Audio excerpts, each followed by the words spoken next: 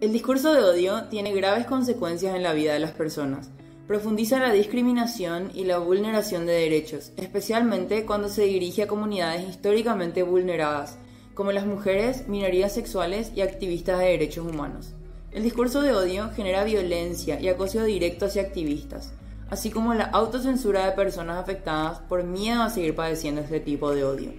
Como personas que pertenecen a comunidades históricamente vulneradas, nos vemos obligadas a pensar muchísimo más en lo que compartimos en línea, afectando directamente la manera en la que ejercemos nuestro derecho a la libertad de expresión. Es común que, al intentar defendernos de estos mensajes de odio, nosotros terminemos infringiendo alguna política de las plataformas en las que ejercemos nuestro activismo, lo cual nos conduce nuevamente a la censura e incluso al cierre de cuentas.